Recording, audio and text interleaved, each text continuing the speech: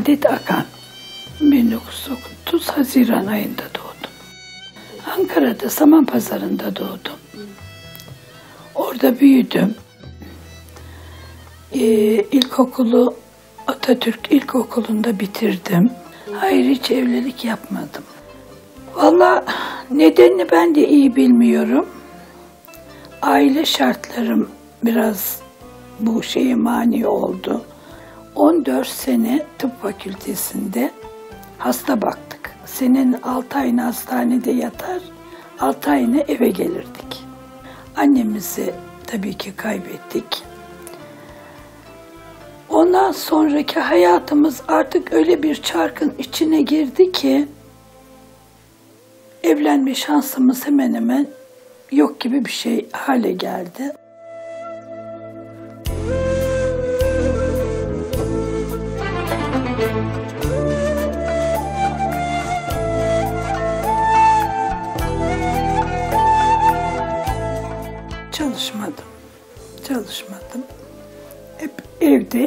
Hanımlığı yemek pişirdim. Anne hasta, ha- hastaneye baktım. Ben de biraz e, hırs yaptım yani. Ço- Kardeşlerimi illaki okutacağım, okuyacaklar diye. Öyle öyle işte fakülte dönemleri bilmem ne evlilikler falan derken biz soluğu burada aldık.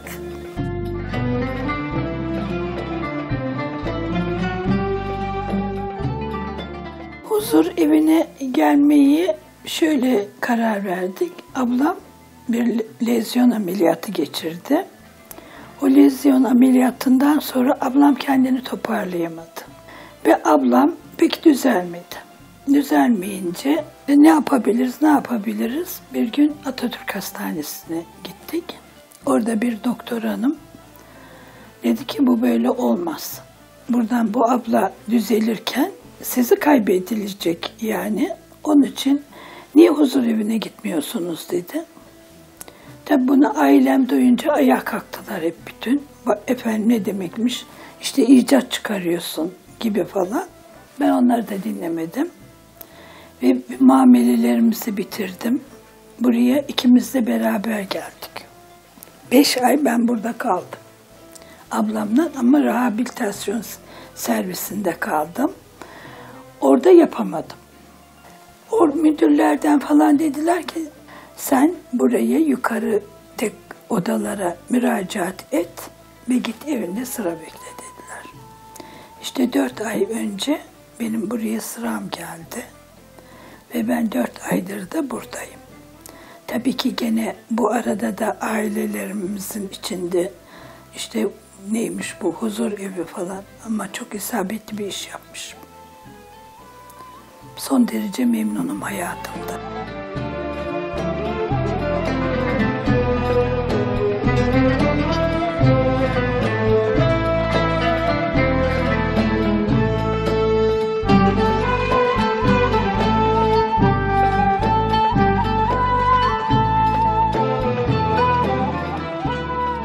Bayramlar, bayramlar. Ne bayramlar yaşadık biz. Kadar güzeldi ki eskiden bayramlar. Babam rahmetlik e, oldukça iyi durumda olan bir aileydik. Saman pazarında dükkanlarımız vardı.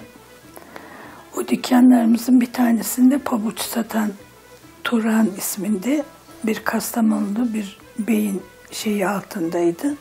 Hiç gidip çarşıdan öteberi almazdık. Kutuları böyle koyarlar üst üste. Bizim beğeneceğimiz tipte pabuçlar. Eve gelir onları seçeriz, alırız. Onları bayramda giyeceğiz, kimse almasın diye yastığımızın altında saklardık pabuçlarımızı. Tabii biraz küçük zamanım o. Misafirlerimiz gelir, büyük bir evimiz vardı. Bir sofa tabir edilir şimdi antrehol deniliyor ya. Sofamıza 10 tane tek kişilik yatak serilirdi. Ve öyle misafirimiz gelirdi. Yani yaşama tarzımız, çocukluğumuz çok güzel geçti. Herkesin elini öperdik, kapılardan para toplardık. Bir de dayak yerdik tabii onun üstüne. neden gittiniz diye. Biz son zamanlarda ailemizden şey uyandık. Hiç söylemezdik para toplamaya gittiğimizi. Gene toplardık parayı da. Çok güzel günler geçerdi bayramlarda falan. Eskiden biz katiyen büyüklerimizin önden geçmezdik. Şimdi tamamen çok değişik hareketler oluyor. Bayram herkes çoluğunu çocuğunu kapıyor. Hadi yazla bilmem nereye. E, ne yapalım canım biz çalışıyoruz. E o zaman da çalışıyordu herkes. Herkes boş oturmuyordu herhalde. Ben bir daha dünyaya gelsem eski o usullerle yaşamak isterim. Çünkü o zamanlarda çok mutlu, çok güzel böyle günlerimiz geçti. Biraz yüklendim mi yoksa?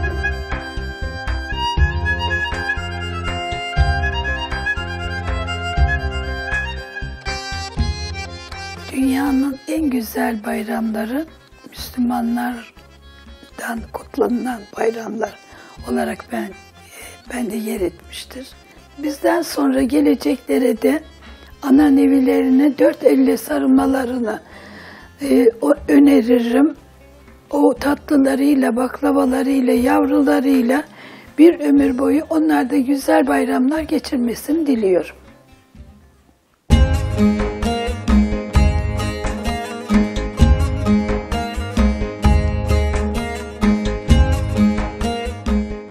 Ali Cevat Arıncı, 83. Çorum, İskilip, Bahabey Mahallesi, Çilingir Sokak numara 2. Çorum'da da okudum, İskilip'te de okudum. Ondan sonra hava kuvvetlerine girdik, işte orada çalıştık. 23 sene çalıştık. Birinde dördüne geldim, emekli oldum. Fransız hocasıydım. 33 sene evvel. Hava kuvvetlerinde.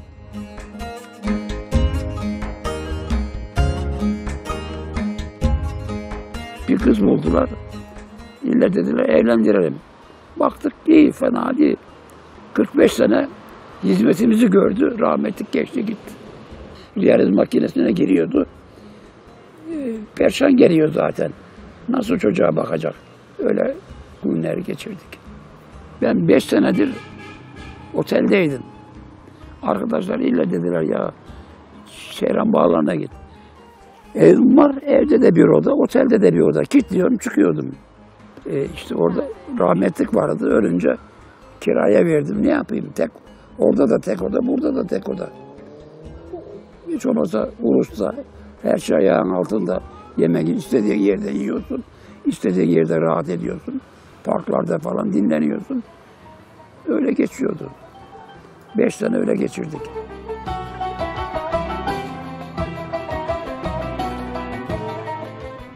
Vallahi eski bayramlar çok güzeldi. Bir kaynaşma vardı. Maalesef şimdi o yok. Herkes resmi. Nasıl yemişsin o kadar. Öyle değil mi? Aile toplanır, yemekler hazırlanır, yemek yeriz. Ondan sonra bayramlaşmaya gideriz. Akrabaların, dostların elini öperiz. Büyüklerin elini, küçüklerin gözlerini öperiz. Böyle geçerdi. Ama çok tatlıydı. O bayramlarda bir samimiyet vardı. Bir sevgi vardı. Şimdi hiçbir şey yok. Nasıl iyi misin? Tamam. O bayramları bulsak şimdi ölüp başımın üstüne koyacağım. Yok. O bayramlar yok. Pilavın üstüne güzel etleri koyarlardı. Bir de bir şey keserdik. Koyun keserdik. O etleri bu sacak olur bilir misin?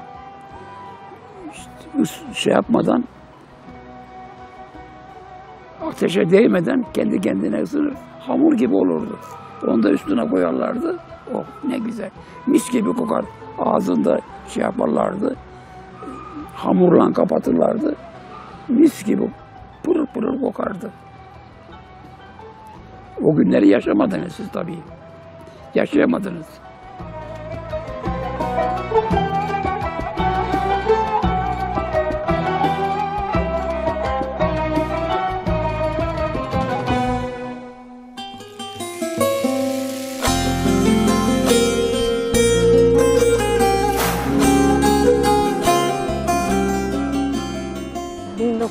1930 doğumluyum. Ankara doğumluyum. Sevim Özbayrak.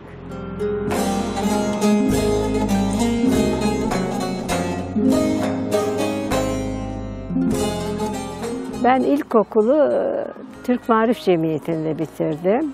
Orta kısmına geçtim. Bir sene ya- yatılı okudum. Biz Leyli derdik. Şimdi yatılı deniliyor. Yatılı okulu okudum. Tabii evlendim. Valla ne görücü usulü ne şey. işte o beni görmüş. Muhitten geçip gezerken sormuş, sual etmiş. İşte annem de kabul ettiler yani biz. İşte fakat ben mutlu olamadım. Şey demedim. Bir çocuğum oldu erkek. Yani anlaşamadık. Olmadı. Olmadı. Şey yaptık. Ve ben ayrıldım. Çocuk bana kaldı tabii usulen yani kanunen. İşte ben onu okuttum, şey yaptım. Mimar çıktı. Özel okulda okuttum. Mimar oldu. Evlendirdim. İki torun sahibi oldu. Fakat işte o bir şeye kapıldı.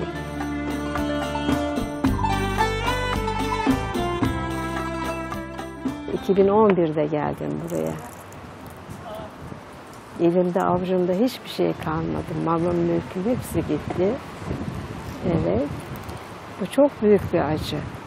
Fakat bura beni kabul etti. Bu kurum beni kabul etti. Şimdi burada mutluyum. Hep şükrediyorum. Yani yatıp kalkıp dua ediyorum. Bana sebep olanlara, şey edenlere. Tabii hiç elimde bir kuruş yok bakın. Devlet bakıyor bana. Yaşlılık maaşı bağlandı. Ben apar topar geldim bir gece vakti buraya. Akşam. Yani benim o yüzümden çok e, perişandım buraya geldiğimde. Ben ama geçmişimi unutmuyorum. Unutmuyorum. Şey ettiler, hepsi yardımcı oldular.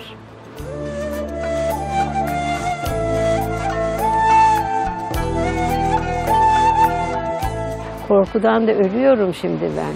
Acaba beni sokağa atarlarsa ben nereye gideceğim? Yani şey diyeceğim. Ben sokaklarda kalırım. Burası sahip çıkmasa. Ya. E, diğer arkadaşların kimisinin evleri var mesela, şeyleri var. Geliyor arka şeylere, yakınları falan. Ama benim yok. Olmayınca ne yaparsınız? Evet. Daha ben yeni yeni buraya oturuyorum. Yani konuşmam falan hep titreyerek konuşuyordum. Çünkü ağız hep aklımda acaba ne olacağım? Acaba ne olacağım? Hayır şey değilim ki erkek değilim ki bir yerde limon satayım ya şey yapayım. Kadın olarak ne yaparım ben? Dilenemem de. Kimsenin kapısına da gidemem. Şey demem. Hiç uyumuyordum ki. Bana diyorlar ki yat. Bakıcı kız teyzeciğim yat uzan. Yat, uzanmaya çalışıyordum. Kapı tık edince, kapı zaten açık şöyle aralık bıraktılar. Tık edince oturağıma geliyordum.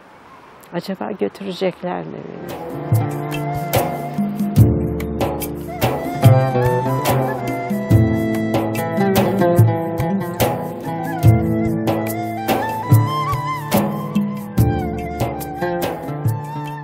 Zaten Ramazan gelmeden evvel bir Ramazan hazırlığı yapılırdı. Ondan sonra tarhanası, bulguru, her şeysi konulurdu. Sonra bizim apartmanda kendimizin olduğu için aşağıya babam odanın bir tanesini, Bodrum kattaki odanın bir tanesini ahşap yaptırmış. Oraya hevenk üzümleri asılırdı. Evet. Ondan sonra orada şey yapardık, yerdik. Bayram arifesinde e, büyük annem çok güzel baklava yapardı. Evet. Cevizli, çok güzel. Tereyağı dökerekten yapardı. E, dolmada bizim fazla çeşitimiz yoktu ama çok lezzetli yemeklerimiz vardı. Ben şimdi ev yemeğini çok arıyorum ama yok, çarem yok. İşte diyorum ya sana bir, ben bir üstümle çıktım geldim buraya. E, bayramlıklarımız alınırdı. Onlar başucumuzdu. Ben ayakkabıya çok meraklıydım, rulan ayakkabıya. Ne zaman alsalar başucumda. Gece alırlarmış koyarmış annem yere. Ben tekrar uyandığım zaman elimden yokluyorum. Nerede diye. Evet.